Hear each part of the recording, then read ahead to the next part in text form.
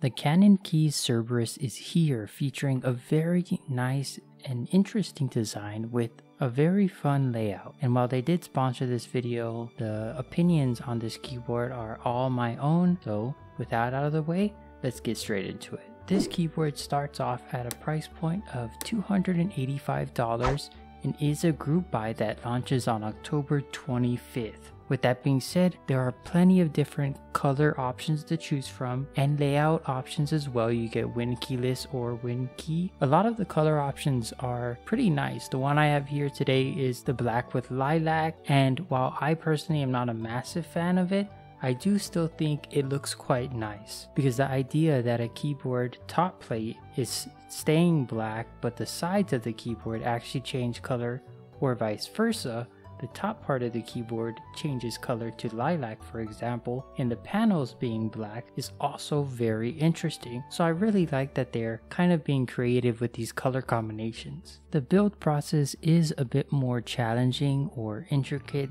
that it requires a lot more screws and different screw sizes, but other than that, everything has a spot for it. This is kind of a continuation from the previous keyboard that I reviewed from CannonKeys that also had a bunch of screws and was not that beginner friendly, but everything was easy to figure out where each screw goes and so on and so forth. That is still the same with the Cerberus, which is very nice to see. Another thing that's still the same is that the finish on this keyboard is very premium, smooth, and nice to the touch. In the front of the keyboard, above the arrow keys, there is this little Cerberus with an LED behind the, eyeballs. So the eyes of the Cerberus will light up. Now this will be changeable in VIA once this keyboard goes live, but as you can see here, since this one is kind of lilac, the eyes are purple. Me personally, I would recommend lowering the brightness for the RGB so you can not only see the Cerberus, but also see the glowing eyes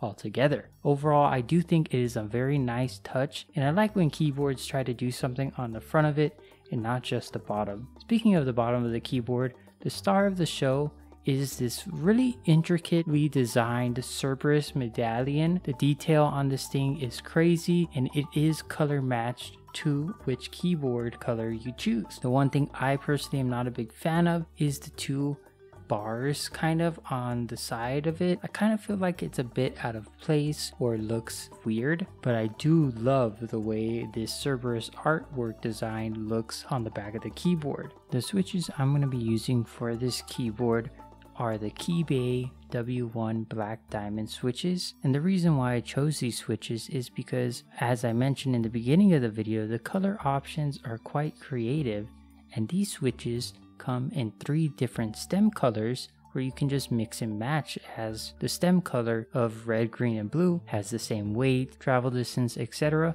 So I think it is a very fun switch to pair with the very creative color options that this keyboard has to offer. I used an FR4 plate. Now it doesn't include case or plate foam or anything like that, which in my opinion, it's still a miss. And the keycaps I'm going to be using are the CannonKeys November Fog.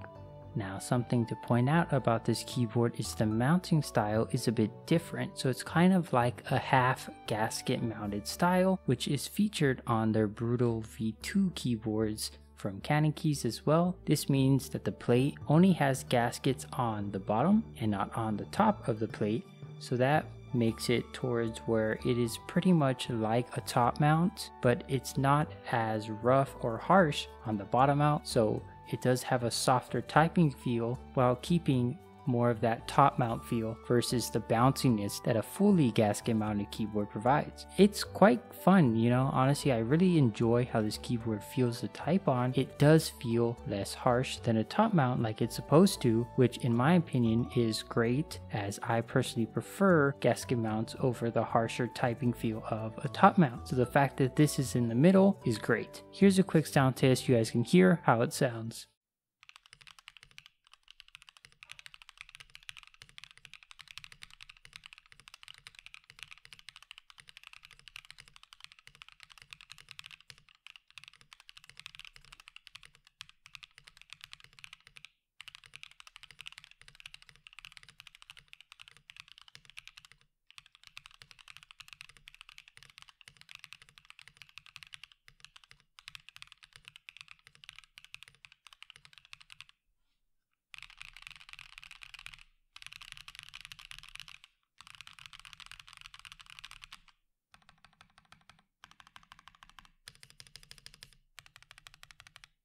So if the sound test wasn't very apparent enough, it's obviously leaning more towards the clackier sound signature, which I do quite like, but I was not a big fan of the fact that it sounded so hollow. One mod a lot of people like to do to their aluminum keyboards is the force break mod to remove that pinginess that this keyboard may have. Thankfully for them, they actually include some mini gaskets that you can apply or not apply, you know, it's optional if you want to kind of give it that force break mod. Now obviously this is up to you, but the fact that they include that at least is something I'm really happy about. Overall, I think this keyboard has very unique color options and it's very cool light up Cerberus above the arrow keys in the back medallion, but I do think in terms of price, it is a bit steep, I'd say, but if you are interested, I'll be leaving a link to the CannonKeys Cerberus in the description below. But let me know what you guys thought about the Cerberus keyboard in the comments down below, and I'll see you guys in the next one. Peace.